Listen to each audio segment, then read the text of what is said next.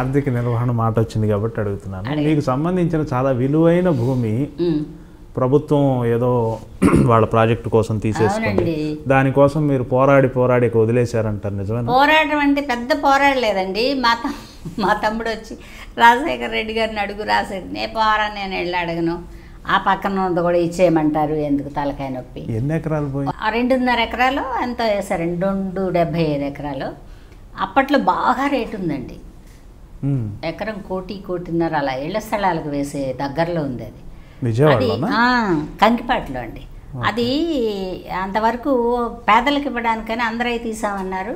హైకోర్టులో ఇంకా నడుస్తున్నట్టుందండి పేదలకు ఇవ్వలేదా? ఏమండి మాగాణి భూమిలో పేదలు ఏం గుడిసెలు వేసుకుంటారు చెప్పండి. అయినా కూడా అన్నారు మా తమ్ముడు అన్నాడు అరే హైకోర్టులో వేస్తానంటున్నా వెయ్యి మందైతే వస్తుంది. మంద కాకపోతే అనన్నారో బేడద్దున మనం అన్నకంటే పది పైసలు ఎక్కువ ఇస్తాడు కదా గవర్నమెంట్ అయినా. పోనీ ఒక వంద దీపాలు వెలుగుతాయి ఏముంది? ఎవడు గుడిసె వేసుకున్న దీపం పెట్టకుండా ఉండడు కదండి. అంతే అంతే. ఆ ఈ వంద గుడిసెలు ఉన్నది మా పొలమే అని చెప్పుకోవచ్చు. డబ్బులు తీసుకుని కూడా ఉంటే ఉంటుంది. లేదంటే లేదు. వాళ్ళని వెళ్ళని నేను రిక్వెస్ట్ చేయనురా నాకు. నేను రిక్వెస్ట్ చేయనండి. దేనికి? అప్లికేషన్ పెట్టను. నా కోసం పెట్టను.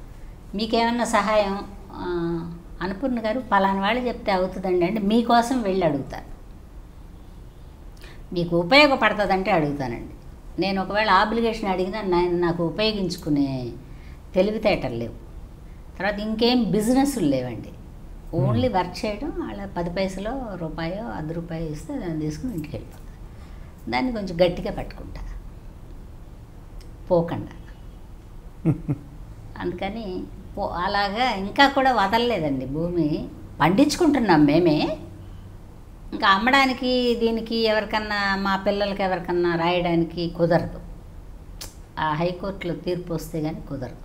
మరి హైకోర్టు తెలంగాణలో ఉండంగా తీర్పు ఇస్తాడో తెలియదు ఆంధ్రప్రదేశ్ కట్టి నాకు ఇస్తాడో తెలియదు ఎప్పుడు ఇస్తాడో తెలియదు బట్ పంట అయితే పండించుకుంటున్నారండి. కనీసం అంతవరకన్నా. అంతే. ఉంది. ఫోన్లేండి మంద కాంతి అయితే పోతుందేముంది సహజంగా ఆర్టిస్ట్గా సెటిల్ అయినాక ప్రతి ఆర్టిస్ట్కి కలిగిన కలిగే కోరిక ఏంటంటే నిర్మాత అవ్వాలని. అవ్వాలని లేకపోయినా పక్కన ఉన్న వాళ్ళు కొంచెం పుల్లగేస్తూ ఉంటారు. అందులోకి వెళ్ళి కొంతమంది సక్సెస్ అయ్యారు కొంతమంది. సక్సెస్ కాలేకపోయారు. చలపతిరావు గారు లాంటి వాళ్ళు సక్సెస్ అయ్యారు. అంటే మీ జోనర్లో చెప్తున్నాను. మీకు అలాంటి అభిప్రాయం కలగలేదా? ఎవరు కలిగించలేదా? కలిగిస్తారు కానండి. మనం ఎంతవరకు ఎగరగలమో చూసుకోవాలి. ఇందులో జనరల్గా బిజినెస్కి బిజినెస్ మైండ్ వాళ్ళే కరెక్ట్ అండి. ఓకే. ఆర్టిస్టులకి బిజినెస్ మైండ్ తక్కువ ఉంటుంది.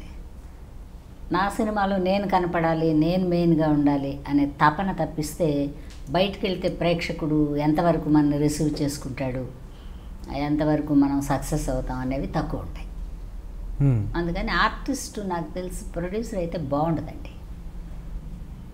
ఆర్టిస్ట్గానే ఉండాలి. ప్రొడ్యూసర్ ప్రొడ్యూసర్గానే ఉండాలి. ప్రొడ్యూసర్ వేషం వేసిన ప్రాబ్లమే ఆర్టిస్ట్ ప్రొడ్యూసర్ అయిన ప్రాబ్లమే. ఎందుకంటే ఆర్టిస్టు ప్రొడ్యూసర్ అయితేనండి పక్క ఆర్టిస్టులతో విరోధాలు వచ్చేస్తాయండి. అలాగా? ఎలా అంటేనండి ఇప్పుడు నేను ఆర్టిస్టు. తీసుకునే అలవాటే. ఇచ్చే అలవాటు తక్కువ కదా.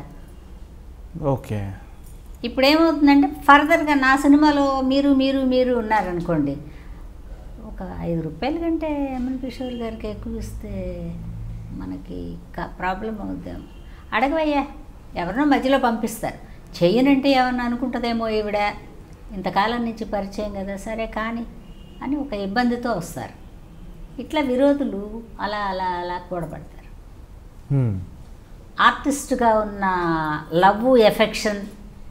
డిజాల్వ్ అవుతుందండి. ఓకే. ఆర్టిస్ట్కి ఇదే అలవాటు. ఇది లేదు. ప్రొడ్యూసర్కి ఇదే అలవాటు.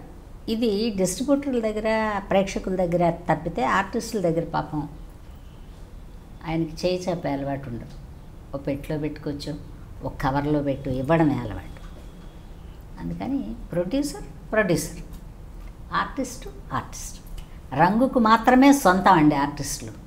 Hmm. వ్యాపారానికి కాదు నా దృష్టిలో.